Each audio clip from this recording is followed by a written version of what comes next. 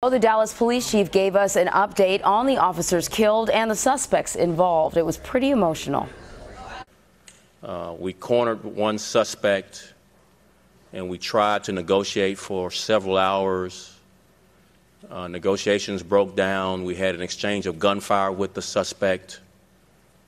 Uh, we saw no other option but to use our bomb, bomb robot and place a device on the, its extension uh, for it to detonate where the suspect was.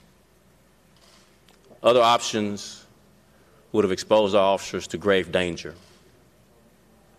Uh, the suspect is deceased as a result of de- detonating the bomb. Uh, the reporting that the suspect killed himself is not accurate. We've confirmed that he's been deceased because of the detonation of the bomb. We're hurting.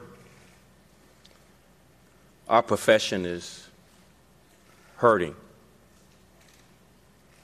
Dallas officers are hurting. We are heartbroken There are no words to describe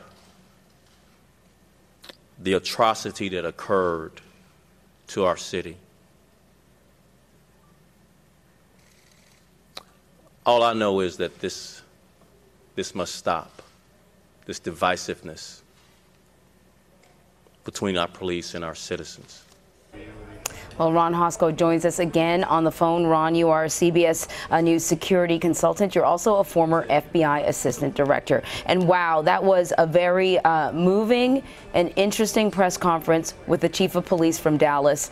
Uh, we heard something very interesting. We heard that the suspect that was killed was not killed by his own hand. He did not shoot himself, which is what we had initially heard and were reporting. He was killed as a result of a bomb, a bomb that police used uh, they used a robot to get the bomb closer to him, and he was killed that way. Is, is that surprising to you? Earlier we were talking, and you said it's a very rare technique.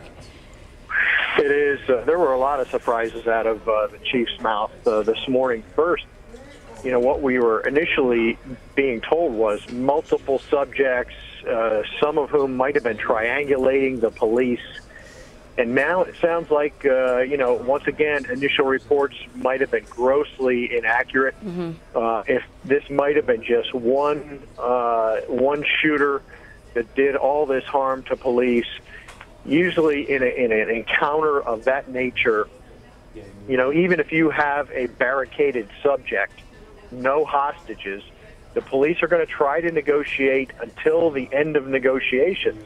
And that may end with you know, tactical action by the police. In that sort of encounter, there's really, uh, you know, a- absent more, there's no hurry. If you have somebody who is really cornered um, and can do no greater harm, they, then it typically ends with uh, a suicide or maybe a tactical action that involves, uh, you know, a police sniper mm-hmm. or a tactical team. But almost never do you hear the police using explosives on a bomb robot to end the encounter, and that sounds like what happened here.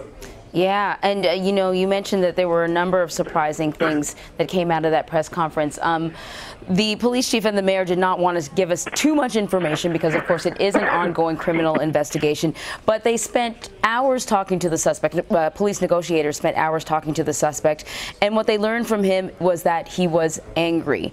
He, the, the police chief described him as lucid but angry, upset about or uh, for the Black Lives Matter movement.